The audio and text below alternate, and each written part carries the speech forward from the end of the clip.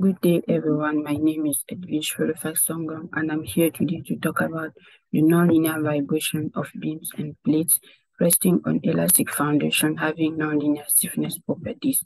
The motivation behind this work comes from the need to build stronger structures which can resist multiple deformation when they are subjected to external load. Many studies have been developed in that regard, but the problem is that the most available one are concentrated on linear case studies where the nonlinear one have been neglected.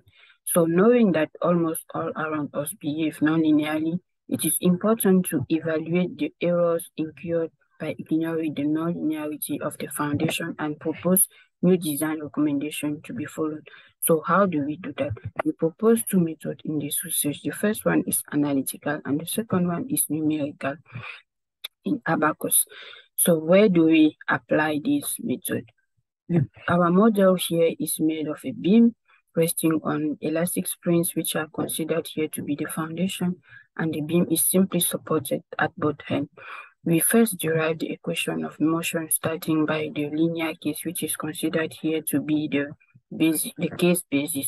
Then we add the nonlinear quadratic term in the equation, which gives rise to a nonlinear equation. This is the first case studies study. Then the second case is to add the nonlinear cubic term in the equation, which gives another nonlinear equation. So basically, these are the two cases to be fo focused on in this research. During our analysis, we calculate the natural frequencies for the linear case and the nonlinear case, and it is found that the error are the, eh, the, the, the natural frequencies increase in the presence of nonlinearity and the error are most significant in the fundamental modes.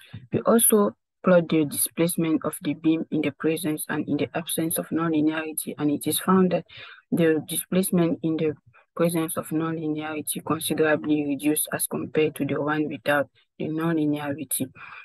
The finding of this research as are useful in the dy dynamic stability of beam and plates resting on elastic foundation and in the amelioration of the design of, and construction of structures having those parts.